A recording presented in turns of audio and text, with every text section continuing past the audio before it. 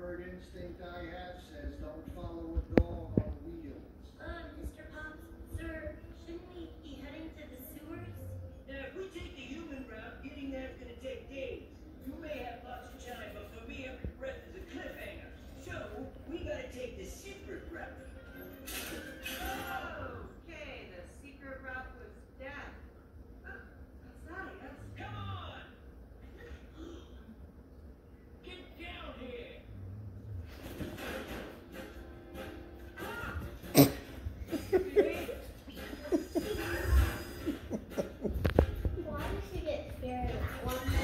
know. That one spot freaks her out.